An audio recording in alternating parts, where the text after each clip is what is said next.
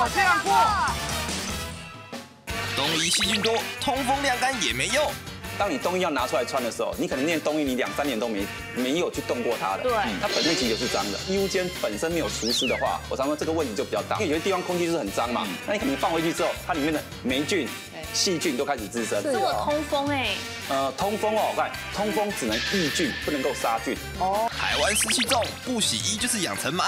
衣服会不会容易长霉或者长尘螨？多久要洗一次？除了跟你的使用量以外，也跟你所处的地方的湿度。比如说，我记得瑶瑶你住的地方很湿就非常的湿，对不对？所以当你又把一群堆在那里的时候，所以你眼睛没看到，可能那尘螨已经很高兴的一直在那边啃食，可能他们已经有一个地球那么多的尘螨，就一直在那边吃了，你知道吗？烘衣服有学问，不止毛衣不能烘。可是是不是有些衣服不能烘？对，有一些如果有羊毛的外套，其实没有各位想象的这样，是我们看起来它像羊毛，可是事实上是亚克力也不能烘，亚克力材质的衣服不能烘。亚克力烘会怎样？亚克力烘的话，它会松垮掉，因为它跟羊毛当然是反向。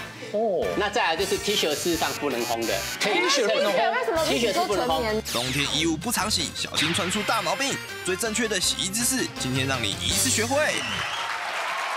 所以呢，到底这个冬天衣服啊，大概多久洗一次？哎，这个很重要，我们先来请教一下好不好？来，维林，最爱干净的维林，冬天如果是小不是，是他老公爱干净，他被迫。被迫没有，他只有针对地哦，衣服没有我爱干净。真的。哦对，哦。那那我是对衣服很要求，各有所长因为我们妈妈都会怕小朋友那个肠病毒，外面有没有要换嗯细菌，所以我是有分小孩子的衣服跟我们。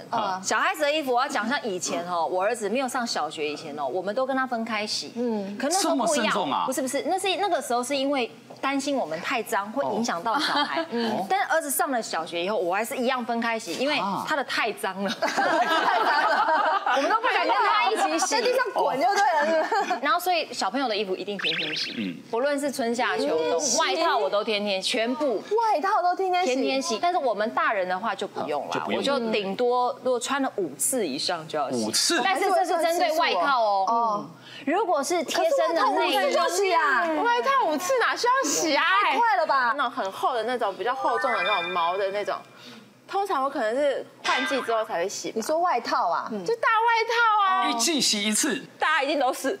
一季洗一次的举手。我说好重的那种哦，我觉得可以耶，可以因为外套有很多件呐，会轮流着穿啊，可以啦。可以可以哦，你也是哦。是啊，我也是哎。像我们在主播台上看你在报秀那厚重外套，可能已经 主播台不会穿厚重外套，不会太热了。啊。下次跟你吃饭我会穿出来。冬天的衣服要怎么样洗？多久洗一次？王医师，其实会引发一些健康的危机。哦，我以为你要问王医师你多久洗一次？其实基本上哦，衣服什么时候洗哦，这个问题真的是 没有个标准答案啊。因人而异。那基本上如果说以冬衣的话，其实大个概念，当你冬衣要拿出来穿的时候，你可能那件冬衣你两三年都没没有去动过它的，对它本身其实就是脏的。你不要说它到底干不干净，没味你可能拿出来之后，你开始抖了之后，你发现怎么样？可能那里面的灰尘、尘螨、霉菌就开始发生了。对再过来，如果你本身衣物间本身没有除湿的话，我常说这个问题就比较大，因为我们这衣服只要你穿过在外面，因为有些地方空气就是很脏嘛，那你肯定放回去之后，它里面的霉菌、细菌都开始滋生。这么通风哎，呃，通风哦，我看通风只能抑菌，不能够杀菌。哦。所以基本上你要看你的温湿度，尤其是霉菌的话，基本上在台湾只要像这种冬天，它的湿度在超七十以上，你放到你的衣物间里面，只要没有除湿，对其实我特别强调发霉了对那其实大家知道有概念的话，只要你的。那个衣物间里面不管多大，里面放一台除湿机，我告诉你，你的衣服说实在的就不会发霉，不会有味道。对对对，就不会发霉。然后再过来，你要放进去之前哦，可以的话就是用刷子啊，把你的衣服上面先刷一下。哦哦，因为毕竟我们在外面所沾到那些灰尘啊、落尘、霉菌，你这样刷的话，其实外国人他们都有个习惯，穿大衣进到家里之后会有那个个毛刷刷刷什么，就把那个脏的东西先刷掉，这样你再放到衣柜里面去，它比较就不容易坏。哦，可是如果说这些脏的东西都在你身上。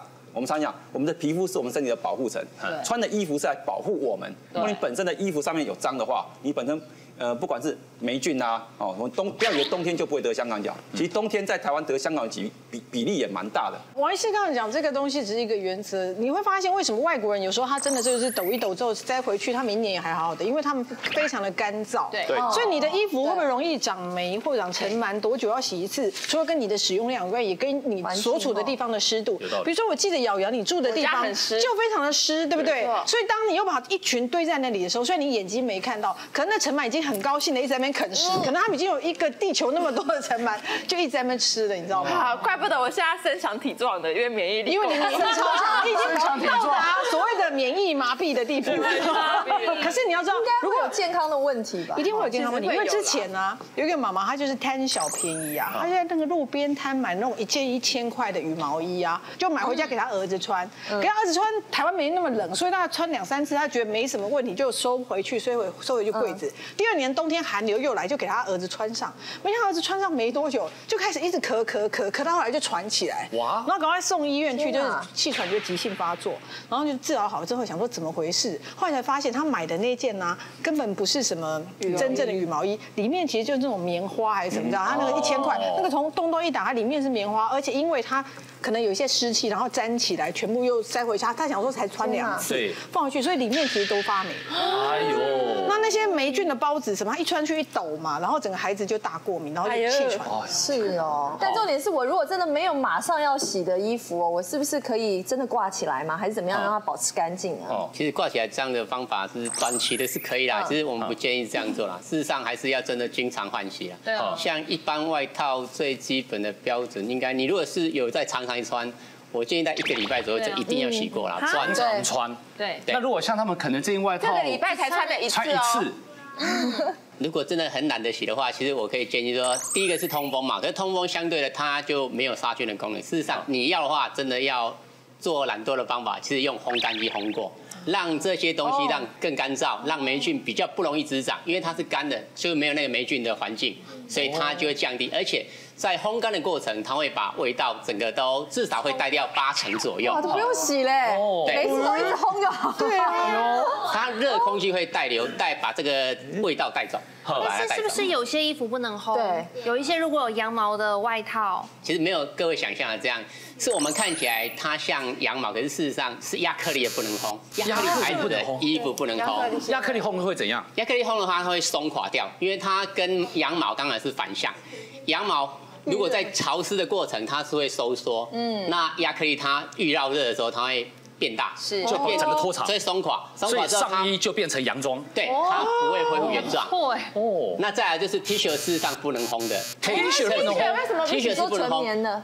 对，纯棉的 T 恤你一烘，它原则上是会收缩的。嗯，其实我我自己可以分享有两个烘的方法，就是第一台就是现在大家都会用除湿机，嗯，其实除湿机很多都有衣物干燥的功能。嗯，我自己最常用的就是呢，就今天晚上洗完衣服，其实我用衣物干燥啊，你隔天早上起来全部都干了。对。哦。然后第二个方法，如果天冷的时候，我们是不是都会吹那个那个暖气？对，我就把衣服挂在那个暖气出风口，那个房间不用就在它旁边，因为像我们那种电那个陶瓷暖炉，它不是会转一转。衣服就干，好高科技。这两个方法也可以代替你那个烘干嘛，很好。哎，那洗澡的时候，那热水澡那个不是有蒸汽吗？挂在浴室里面。对，那现在湿气。哦，那湿气哈，对，这 太湿了。因为我想说那个温度啦，哈，也可以那样的方式也可以除一点味道，是的也可以，而且会让你的衣服稍微平整一点点。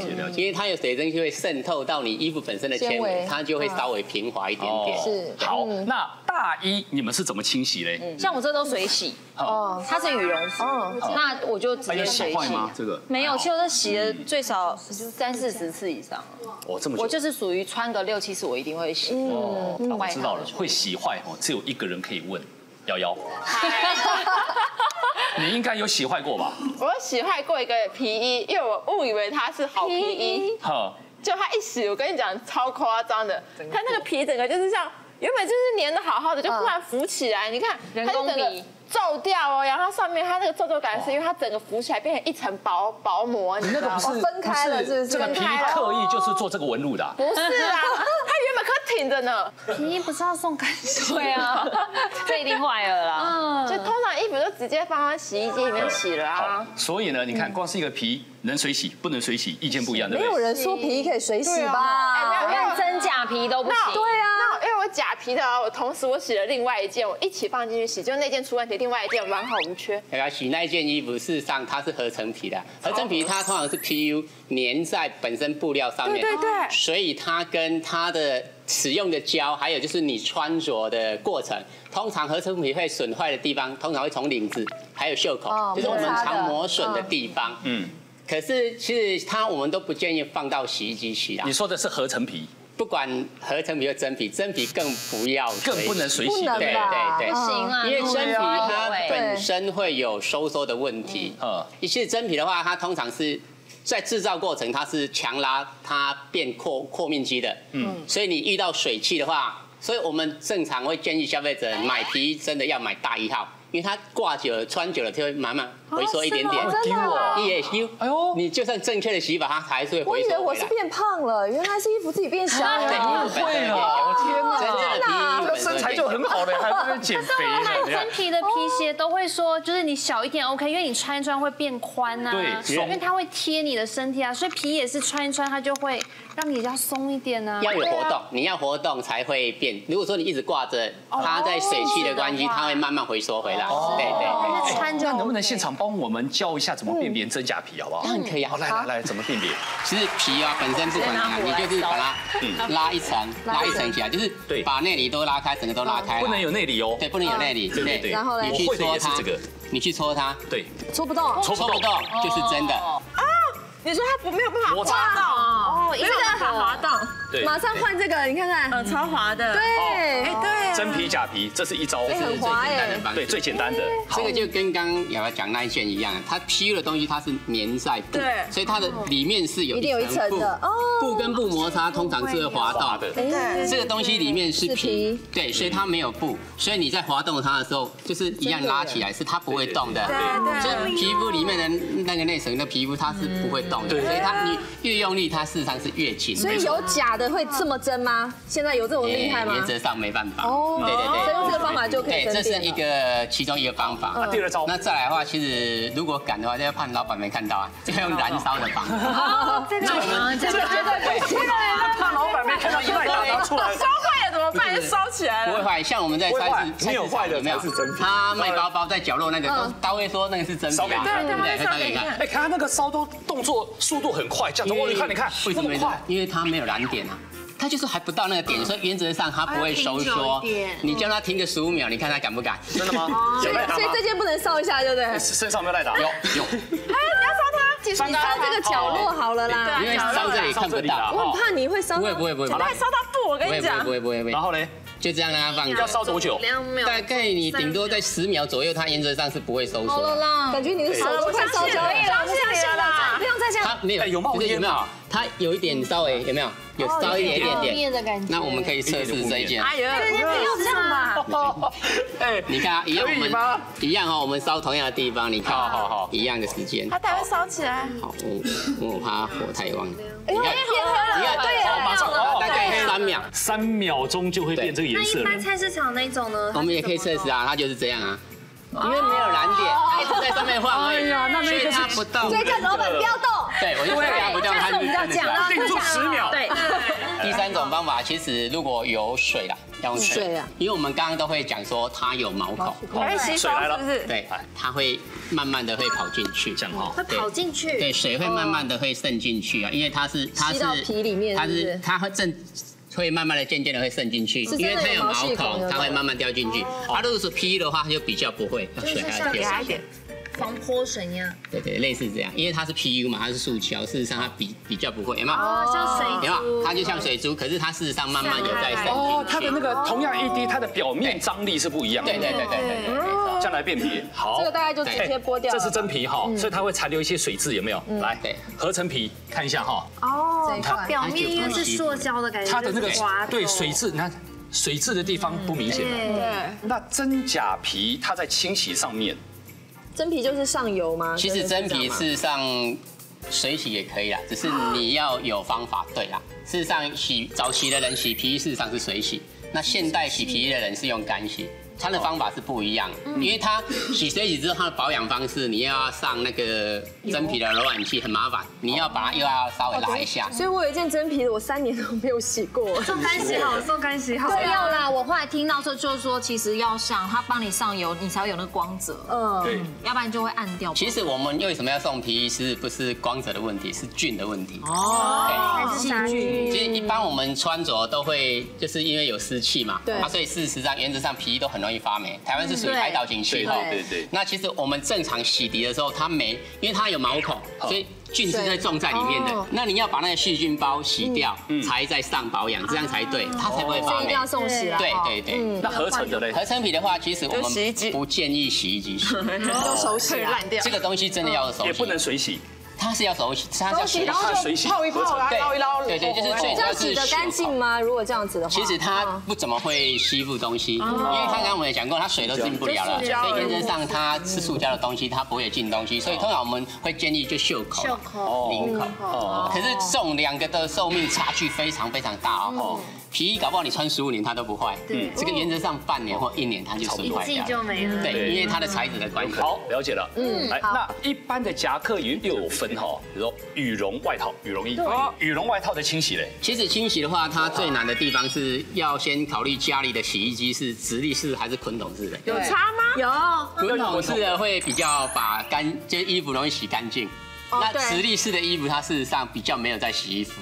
它事实上是搅在，它只是转转转，它会搅在一起，所以原则上它比较不容易把衣服洗干净。哦，那我们考虑羽绒为什么要用滚筒的原因，是因为通常这类型的外套。它的外表都是聚酯纤维，那聚酯纤维它标它编织的方式是比较密，它最主要的功能是要防风，那相对防风它就防水了，应该是这样讲。那防水的话，它太细了嘛，所以你要水让它进去，也要有一定的时间，哦，所以会很麻烦。了解。所以我们会建议说用滚筒式的原因是这样。所以这种羽绒外套水洗它不会说越来越扁或什么样，有没有洗的正确方法？其实正常的话，很多消费者会认为羽绒衣是要干洗啊，蛮多人都有这个想法。真的耶，我都是送干洗耶。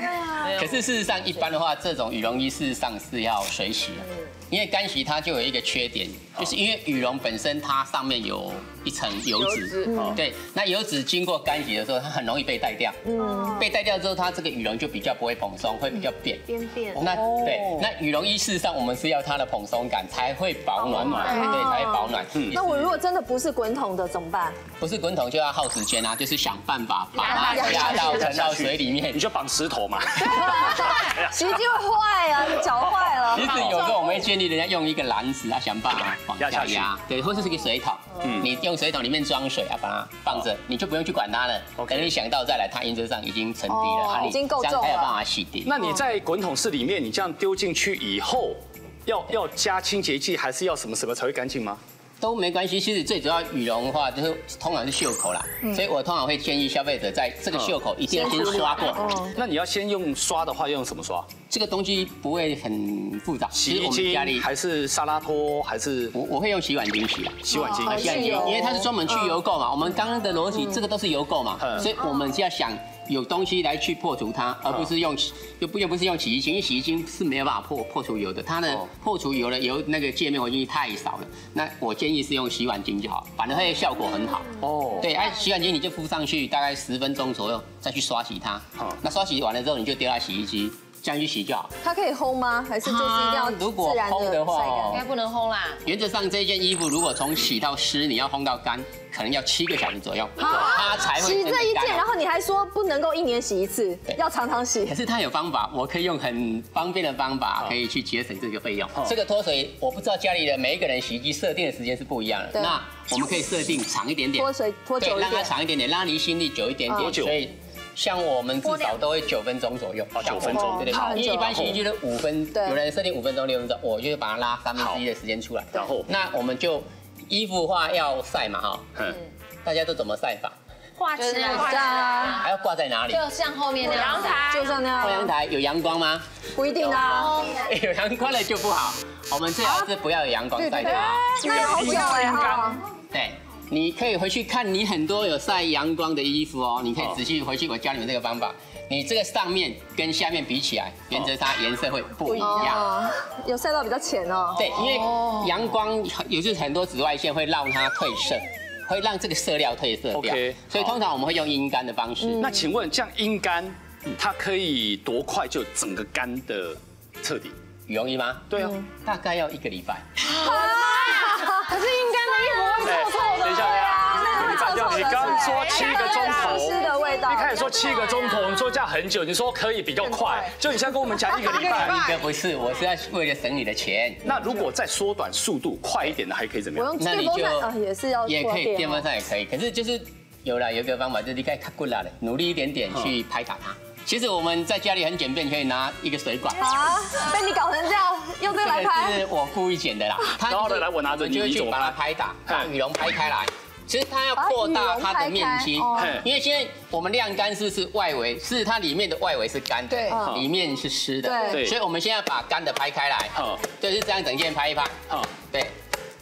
其实像今在这里已经蓬松了，你们摸看看，跟刚完全都不一样啊。跟这边比，对对对，你跟它比一下，这里差很多。立即见效。不是，那碰起来代表它干燥的速度也会快，会快，会快。所以就是你整件把它拍一拍。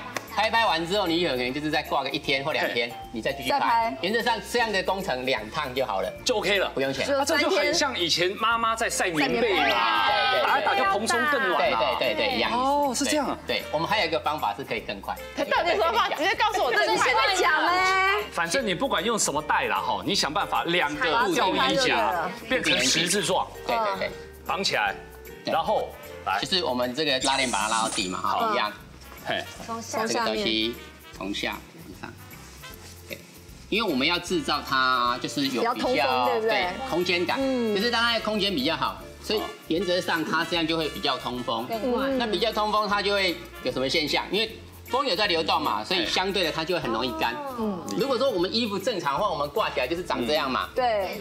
它事实上是没有空间感的，理念是没有它不会比较，就是它速度会比较慢，对，它速度一定会比较快，对。对。哦，那这样子我们加快速度，对妈来讲也是一个福音啊。对啊，对，谢谢陈老师，谢谢，谢谢。但是如果不知道到底该水洗还是干洗，我们有时候会看里面的洗标嘛。可是看那个就准了吗？哦，一般来讲，原则上哈，应该它的准确率应该至少有到八成啊。可是现在有一些很吊诡的那个洗标，你看了会疯掉。嗯，因为之前有些洗衣店就说，他们曾经看到那个标志，就是不可水洗也不可干洗。有啊，蛮多。他说啊，不可水洗也不可干洗，要是怎样？就不要洗，风干吗？不用洗，免洗的吗？后来就发现，因为它通常出现在哪里？是有一些是拼接式的衣服。比如说我可能某个地方我拼一块毛皮，那某个地方我其实是最主要是聚酯纤维或什么，那我可能根本就不一样，有些地方可以水洗，有些地方不可以水洗，所以搞得他们也不知道该怎么洗。对，像我们现在所绣的这一个哈，你看它就什么都不行，也不可以烫哦，都不行。啊都不行，这样我们就很纳闷了呢。就穿过就丢了，也不可以泡啊，高温熨烫啊，也不行啊。而且还是进口的哎。像刚才那种羽绒衣有没有？有时候它会为了让它华丽感增加，所以它拼了一个真正的那个毛，就是绒毛，比如说可能是兔毛啊，可能是羊毛。你刚才说下面是可以水洗啊，对。可是兔毛、羊毛不行啊，我是说绒毛毛那个是真的。对，那那边如何洗？这种哦，其实可以去测啦，其实。真的毛假的毛也有方法去测试。假设它是真的毛，假设真的毛的话，其实我们可以就是洗清就好，你不要加清洁剂，因为它很怕碱性的物质。哦。可是我们的清洁剂都是碱性物质。那假使说它真的很好，有可能我们遇到水它就会硬化掉。那硬化掉，其实我们有方法去把它变柔，你都不用加任何加工剂。当它硬掉的时候，你只要手去揉搓它，轻轻的，你不要太用力哦，因为太用力它有可能。一用就脆掉，所以你要慢慢的让它有热度，慢慢的摇摇动它，摇动它，摇动它，它就慢慢就软化掉。热度，对那热度我直接用温热水下去泡可不可以？因为它会把熟掉。里面的油脂带掉，因为皮上面有油脂嘛，那你再加热，它相对会更容易把油脂去除掉。那它会更硬，嗯，麻烦哦。那可以用洗发精给它洗啊？可以啊，可以啊。因为我们的头发就是用洗发精嘛，对对对。那应该也可以用头洗发精洗它们啊，好，对不对？有，我之前是真的，你看，我之前洗那个毛料的衣服啊，就是会很害怕，然后我就是用那个洗发精，因为我之前洗什么就是蚕丝的衣服，然后他们都是说你要用中性的洗涤剂，就是你不要用一般洗衣服。那好像说洗头发的啊或者是洗那个洗澡的沐浴乳都可以洗，然后我洗毛料。的，我的想法就是，因为你知道洗头发就是毛鳞片，它会比较吹整，好，真的是这样去推理的哦。对，然后他说那毛衣呢，它就有毛啊，所以我就会泡那个，把它泡一泡，然后洗了之后不是要脱水吗？可是你要脱水，你就又很担心那个毛会变形，所以呢，我就会把那个毛衣洗好，就是把它泡一泡，洗好之后拿那个大毛巾把它包起来之后，再放到洗衣袋里面，然后把它丢到洗衣机去脱水。脱水完之后呢，你再拿个干的毛巾把它就是把它再稍微把它就是沾湿那个麻烦把它弄掉，然后平的把它阴干，因为你知道毛料东西掉了之后，它不是这边肩膀会变长，对，然后可是这样洗啊，我后来都觉得很麻烦，我还都是送洗比较轻松，太麻烦，到最后还是来这一招，对不对？可是我觉得我的方法应该算是，或者是我觉得也可以分享，也可以买一个像现在有很好的那个衣架，我觉得可以买个几个，嗯，对，就是说你掉那个毛衣它哎无痕的。哦，圆圆的那种。可是我在想说，它有水的重量会不会是拉下垂哈？我不会，就是下摆会变真的无痕哦。像我，你看，我就哎，不是很专业的妈妈，你看来了。所以现在变，这是你女儿的衣服吧？没有，我绝对没有拿我女儿的衣服来糊弄大家。那这谁的？好可爱，我的，就是谁啊，这是我的，是小孩子的吧？没有，性感的，真的是我的。你看，等一下说多少水吗？不要不要不要送我。短短七分瘦，好看的，今年流行，今年流行上。你是怎么洗变这样子的？不是，因为我知道它是它是羊毛，它是这件衣服是纯羊毛。可是这种衣服你们不可能只有就是穿穿个一季才去洗嘛，一定都是穿了马上就对，它比较因为它接触好对身体的，流汗。那啊，我就想说每次送洗也很贵。然后后来朋友就跟我讲说，呃，那个冷洗巾就可以洗，你就把它泡着这样子，然后就买来洗，就就洗成这样子喽。哦，不对不对，你如果只是冷洗巾，然后呢，有后续吗？泡进泡进去，而且我都没有搓它，我就是泡着，然后泡泡它就 Q 了。怎么会这样？就拿起来晒干就变这样。对，阴干就变，而且我还是阴干，我都没有晒太阳哦。可是一般冷洗巾不会这样。可是它真的是纯羊毛的吗？真的。可是纯羊毛应该奇怪了，这样才对啊！它没有外力去拉扯，如果它都没有，而且它是整件衣服就这样丢起来了。那只羊在做的时候，它上面 写要干洗哎，羊毛一定会都要不要干洗。那毛衣为什么会缩水，或是甚至有的会起毛球之类的？会为什么？是洗发的问题他们说，我买这件毛衣非常非常非常之贵，然后我穿了一季，我回那个专柜去骂，我说你们卖这么贵的毛衣，怎么可能会起毛球？因为它外面就表层都虚虚的，然后跟我说，真正的 cashmere 一定会起毛球，而且有的时候像我们也根本不还没洗就已经就起毛球，就已经起毛球，他们就说真的摩擦到摩擦的问题就起，真的。所以怎么办嘞？然后害我就不敢买太贵的，我想说那我就买中间价位，像这个价钱。是它的几分之一，也是 cashmere，可是它就都没有起毛球哎，可是它也是 cashmere，也超级亲肤的。一样的穿法，一样的洗法，都一样。我这两件都还没有洗过，我不敢洗呀，就摩擦了，很贵啊。贵大概多多少叫贵啊？这种？对，多少钱？cashmere。这一件三千多，这件要要快要万元以上。哎呦，你发疯了你！对，这件很贵，所以那件也没有洗过，这件还没洗过。而且因为这件，我想说，因为冬天我要去很冷的国家，所以我要一件很好的毛衣。然后我其实只穿过大概三三四次吧，然后它就开始起毛球，我就好心痛。哎呦，一万元以上，你看还没洗过，已经这样都都都这样子起毛球这样哎，心好痛，我就更不敢洗，我就放着。哎呦我的妈！现在想说该怎么办？是厂商真的该骂，还是消费者的问题？真的会这样？其实这种要从两个地方去探讨啦。其实因为。毛衣它是靠碾纱的，那碾纱它有长纤跟短纤，那短纤的通常就会比较容易起毛球。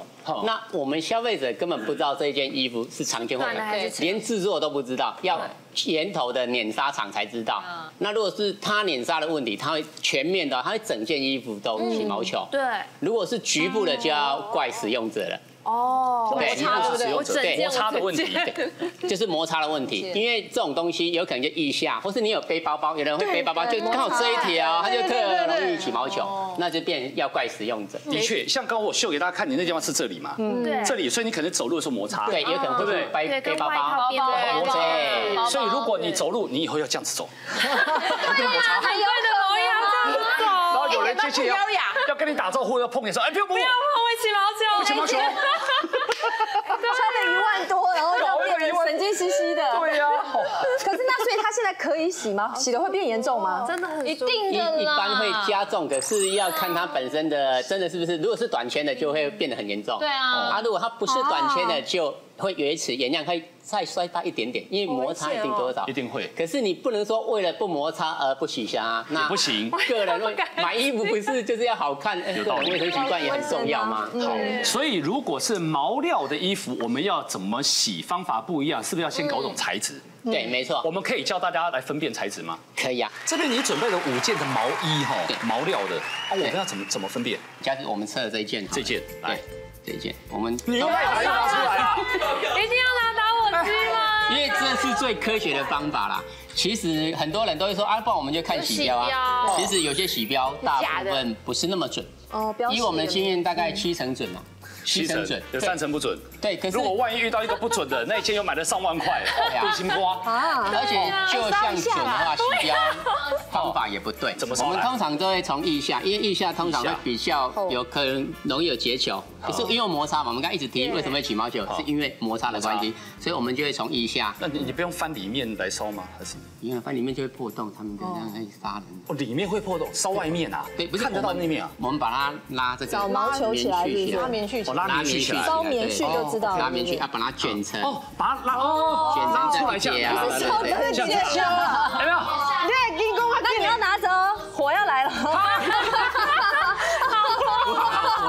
啊，我想就麻烦你了啊。对，好，一样，我们就用打火机，好，就继续去测试它这个东西是什么成分好那我们怎么去处理它？好一样烧了哈对，这个火太大了，好，OK。这样，现在是怎样？对，然后我们可以闻它的味道。它没有继续烧起来可，以闻它的味哦好臭道。味道。它是什么味道？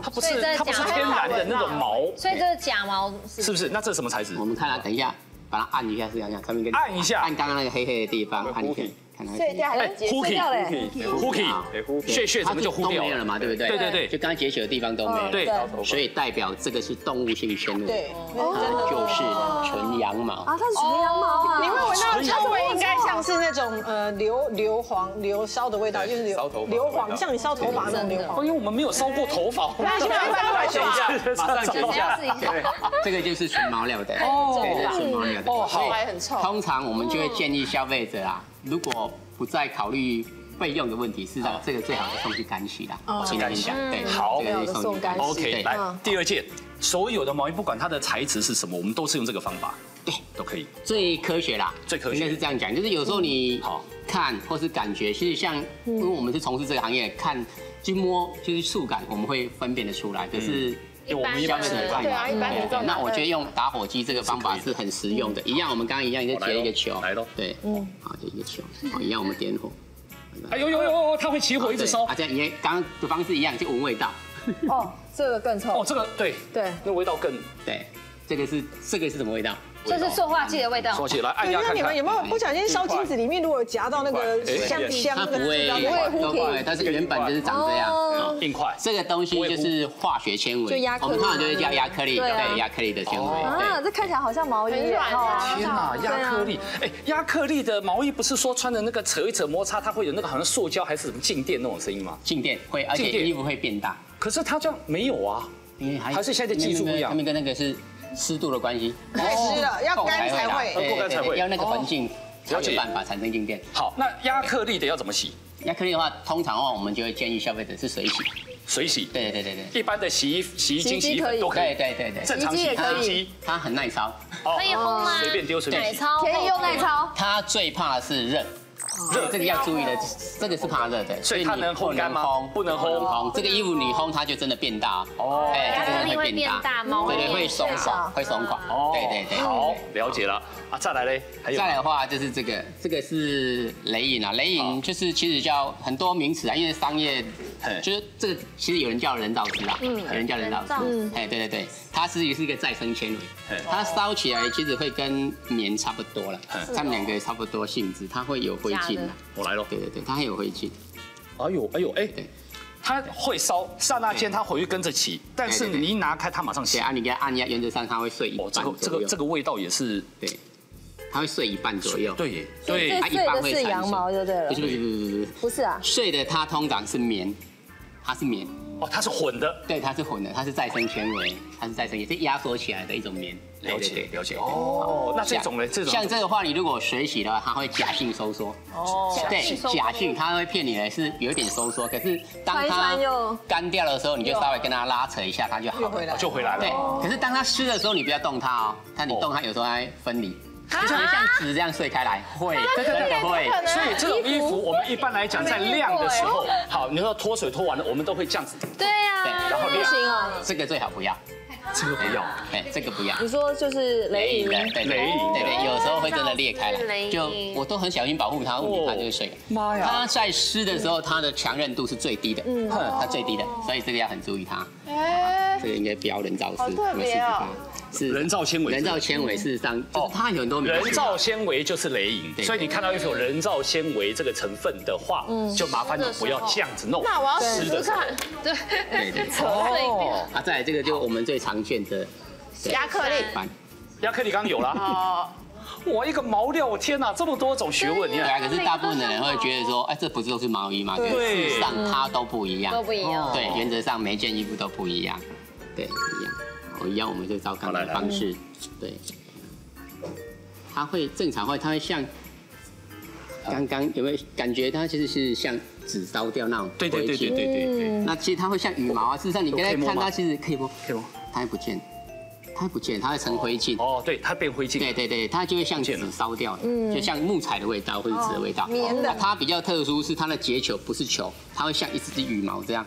嗯，会像羽毛这样，因为闪闪闪，像纸烧掉，它不会结成东西，它会这样飘一片一片东西，那就是棉棉的，对对棉的，棉的怎么洗？棉的话正常一样是水洗，可是棉的话就是吊挂的时候要小心。那棉的任何的洗衣精之类的，通通也都可以。它只是吊挂会比较麻烦。你说可以烘干啊？这个不要烘干。棉的不要，棉的会缩水，会缩水。就是棉的跟亚克力的两种不要。对对对对对对。好，它这个东西因为它会有垂坠性的问题，因为它重，全部的人脱水完它最重。棉最重。对，因为它吸水性最强。对。所以原则上我们通常不这样吊挂。嗯。好，如果说像有人是用平铺的，当然就很好了。问题家里如果没有空间的话，我们其实可以用衣架。哦衣架，对对对，可以自己架。我们从中间挂起来就好了，对对对，从中间挂起来。那你如果它怕它一样会变长嘛，因为水你就把它翻起来，翻起来挂上来这样子。那这样的话，它会里面不干啊。对，你再隔个一天，你又反向翻回来，再重做一个动作，它就会不会有凸尖，也不会变大。嗯，就这样。了解，嗯，好。那如果像这个真正的羊毛，我真的想要水洗的话，可以吗？有方法吗？你硬是舍不得送干洗就对了。对，很贵耶。对啊，毛衣很贵耶。正常的话一样，我们就是用一一盆的冷水，冷水，冷水。用冷洗精或是手洗精都可以。第一个，你先要把它搅拌开来。嗯，好，不是说放着你就把它丢进去，这样没有，这样是不好的，因为它会凝结在一个地方。嗯，你洗剂根本没有用开来嘛，洗不干净。对，一样，你就把这件衣服泡进去，嗯，放着大概三十秒或一分钟左右，你再去跟它按压，稍微跟它拍打一下。就像这样拍打。对对，就是跟它拍。你不要揉，因为它这个东西是羊毛的东西是鳞片啊。你如果去揉搓，它那鳞片会卡在一起。所以会有收缩的问题。那晒干的部分呢？晒干部分一样，我们就是正常。我们如果可以，其实它是用脱水可以的，就是大概三十秒，不要太长的时间，因为它怕揉搓。那如果说我们真的是很保护这件衣服，就是两万块，一万块，你用一个浴巾好铺平放上去，把这个它整个卷起来，卷起来，就这样卷卷卷卷卷。把它拧干，因为它没有揉搓的过程，所以原则上它是不至于有收缩的问题。对，不是，可是你浴巾这样滚完打开，它会吸掉很多水，但是它还还是不会全干啊。怎么晒？就是变那样掉，这是刚刚的方式，一样对吧。对啊，如果是这这个轻轻的是还好啦，啊就看你自己。如果真的你很怕它变形，我的建议是这样挂是最保险，还是一样因为这样的重量它是分散分散掉，对，分散掉了，你就不会说啊拿一个垂坠啊，或是说凸肩的问题就不会。那毛衣可以用柔软巾吗？柔软巾可以的啊，对，柔软巾跟那个冷洗巾跟洗衣巾这三个东西是混着可以用吗？还是它一定要特定的？不能混着用啊。那到底 因为一个是阳离子，一个是阴离子啊，你到最后才要用柔软剂。对，你加在一起的时候，它事实上是抵触的，两个就综合掉了。它是没有作用的哦，你的你是洗柔软巾要自己感觉良好的，最后加加了就起来啦。对对，就脱干了。就像那个炒菜最后勾芡，最后加。勾芡，这个比喻。比喻是赞很赞最后啊，加个位，没错，是这样，真的没错，大家都学起来了。对对，哦，谢谢陈老师，谢谢。好，哎，干洗好像，哎，没有处理好的话，是不是也会有引起一些健康上的危机？哦，我想先问一下老师哦，一般的干洗店，它都用什么样的有机溶剂去干洗衣服？哎。一般的，像台湾来讲，最多的现在就是石油系的嘛，叫碳氢化合物。对。那早期有人用斯氯乙烯或佛素，那因为斯氯乙烯管制比较多，它是有毒物质，在国家认定它是有毒物质，它列管的很很严重。那佛素是几乎全世界都禁用的，没有人可以使用这个东西的。嗯所以全台湾应该是大概九九成几左右都是用石油系的啦。哦。哎，这是石油系的溶剂。那如果是一般石油漆的话，大家记得有时候你因为它们量可能太多的时候，你因为没有挥发完全，所以记得你把干洗衣物拿回来先闻一下，如果里面味道很重的话，它基本上还是会有刺激性的。记得给它放在外面稍微给它通风一下。通风一下。那如果你闻到味道是比较刺激性的话，就你觉得味道都很呛的话，那表示可能用的溶剂是不不好的话，如果含有氯气的话，可能。长期接触，尤其是小朋友的话，可能会伤肝或伤肾，这个有伤肝伤肾，对，或是有致癌的危险。可是你送干洗，你一拿回来去拿，它都是用塑胶袋，塑胶袋稍微闻一下，稍微闻一下，所以是皮衣啦。如果是皮衣，它一定会告诉你它会密封嘛。哦，一般的如果是皮衣，你要密封，等你要用的时候再把那个密封剪开，再穿那个皮衣。所以一般的话，只是那个密封不是那么完全的密封。啊，所以稍微闻一下那个味道。如果那那家干洗店都很味道都很重的话。劝你可能那家比较不要去，或是说太便宜的干洗店，因为毕竟它这个合格的东西是有一定的价位，如果它用的都是很便宜的话，大概你可能要小心一点。哦，了解。来，另外一个问题，哎，万一是这有时候吼，我们这个衣服哦，有时候我那个老婆吼洗完之后，哎来来可以穿了吼，那我一穿，哎奇怪，摸的时候好像它都干了，可是穿上去奇怪，它就是没有干，它就有那个细细的味道，你知道吗？吼。所以怎么样去辨别说哦，是怎么一这就一摸还是怎么样知道它真的是干了没有？这个可能比较难啊，但是可能穿在身上才会知道。但如果你有经验的话，就你穿上去觉得凉凉的感觉，因为衣服如果是干的话，你穿上去是温暖的感觉。如果内衣你穿上去有点凉凉的感觉的话，有可能。就比方说，你那个衣物可能没有完全干，怕被亚兰陷害，是不是？对啊，健康造成一些危害。他在我身上买了很多保险，会有健康方面的危害吗？应该说，这种天气哦，如果说你穿到比较湿的那种内衣，我们都知道，其实我们洗完澡，基本上我们毛孔是开的。如果你本身衣服是湿的话，它本身会把我们穿衣服是为了保暖。那如果本身是湿的衣服的话，会把你的热给带掉。那在我们这种在有个很有名的名词叫做风寒效应。为什么我们去爬山的时候，只要衣服一湿掉的时候，那时候外面如果在吹风的话，会把你的体热透过那个湿的衣服把你的热全部散出去，对这样因为中间的空气没有办法干燥空气帮你保暖，被水分所占据的话，这样你反而你的体热会一直散出去，这样你就容易受到一些风寒，有时候一些造成血管收缩化，有时候也会头痛，有类似感冒的症状。常头痛吗？常感冒吗？亚兰这个人让我头痛。再过来，如果是那，你本身属于内衣裤的话，你都知道内衣裤如果你本身没有烘干的话，本身有一些霉菌的话，你可能穿在身上，可能就有一些，就像我讲的，冬天也可能会有一些霉菌的一些问题，就痒起来了。对。是这个有，我觉得后者这个比较长，要特别小心，因为之前的案例就是这样子，就是说，因为你冬天有时候台湾冬天有时候非常湿冷，所以你可能很久都等不到它真正干的那一天。那那个如果刚好又不是像维林这样大人小孩分开洗，有时候小朋友他皮肤我真的比较薄，他薄屏障没有那么深，然后刚好又跟爸爸的什么谁知道袜子还是什么东西洗在一起。之前有一个小孩子就很小很小他就灰指甲哎，后来才发现，对对对对，就因为他们衣服都。混在一起洗，然后可能也没弄干，结局就是这么小的小朋友就会被霉菌感染。应该有一个分辨的方法吧？还是其实只是你多想？不是，我跟你讲，这个对于很多急性子的妈妈吼，她那个在衣架上面，她怎么辨别？她就想 OK，对啊，她就拿了，她就随便摸一下，你知道吗？申老师，对啊，其实有方法，那个方法是不对的。其实我们可以从考量说，它最不容易干的地方是哪里？这件衣服你要从这个角度去看它。最不容易干，腋下腋下。这里啊，对啊，所以当然我们就检查腋下，如果当腋下是真的干的，原则上这件衣服全部干干的，对。啊，如果是裤子一样啊，也很明确的方法去辨别它。裤子那就摸裤裆，没错啊，真的是这样因为它最后，而且它掉过的时候它是被包覆的，对，它最不容易有风流动。所以原则上它最难干燥。当它真的这里干了，原则上整件衣服真的九成五干了，但是我很急的要穿，我用吹风机吹吹或熨斗烫一下可以吧？是可以，问题会很耗时哦。对呀，真的很。那如果真的这么急，就九成五你就穿上去，走一走就干了。可是会有霉菌呢，那怎么办呢？这么急？好了，来王医师帮我们总结哈，到底这个冬天的衣物我们要健康的来穿着哈。最后的，其实我觉得啊内衣裤的部分呢，我觉得分开洗啦，内衣裤的时候分开洗，那记得要烘干啦，因为尤其他们的天气，我说实在的，真的内衣裤你进去烘干机，那其他的带的话，真的你有衣物间里面有个除湿机这样吊着用，我觉得然后配合如果真的。